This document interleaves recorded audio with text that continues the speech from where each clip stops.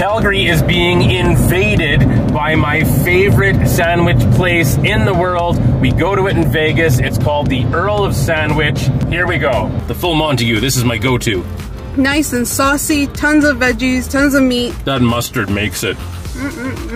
Oh, The holiday turkey because I was feeling a little bit Christmassy. Merry Christmas in June.